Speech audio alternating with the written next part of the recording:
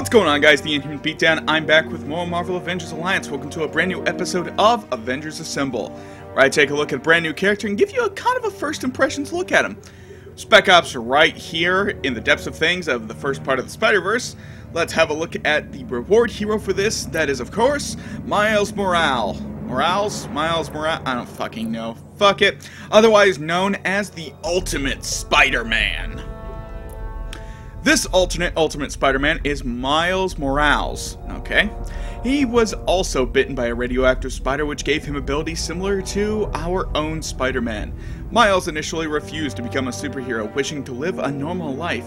But after he witnessed the death of his predecessor, he decided to use his abilities to help others and live to the very mantra that it seems most spiders live by, that with great power comes great responsibility. I also believe, unlike Spider-Man, he actually is stronger and faster, and I believe he was also bitten by a an altered spider which gave him additional powers, but more on that. He is an infiltrator, focusing in high stamina and high evasion, with moderate defense and accuracy, but suffering low attack and low health, if my video where he got immediately destroyed in the first part was any indication.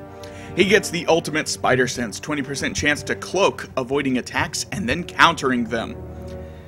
He is the spider successor. Ultimate Spider-Man has a chance to protect an ally from an oncoming attack, can even protect all allies from area attacks. It's basically the same as great responsibility and great power. Once he protects someone, he'll get increased damage for his next attack. He gets the ultimate webbing, webbing which looks like a Kamehameha build-up which is a one enemy ranged attack that applies webbed, which reduces evasion, attacks do 20% less damage, and cannot crit. A second application of webbed applies tangled web. A third application of web applies binding web. I believe binding web stuns as well. Venom Sting is a one enemy melee electric energy bio because that doesn't have enough debuff types in it.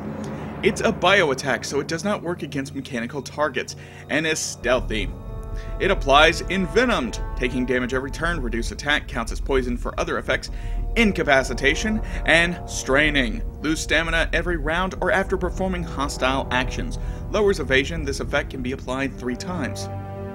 The Ultimate Combo is a one enemy unarmed melee that has deadly crits, exploits webbing, and exploits stuns. It applies combo setup.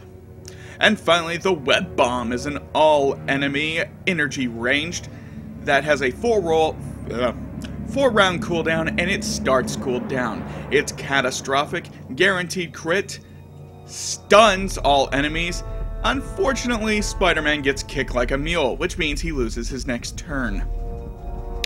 So, from what I can see from this, the idea is to web up his opponents and then use the ultimate combo on them, which could take some time depending on how much web you want to shoot on them. Venom Sting is a nice little attack to hit someone if, well, say you just want to get by them with stealth alone, and the Web Bomb seems more like a way to deter opponents than actually stop them because its damage is quite frankly pitiful. But at the cost of, of course, stunning Spider-Man for one round. So, he seems pretty decent. I'm pretty sure I'll know more about him as I use him in Spec Ops.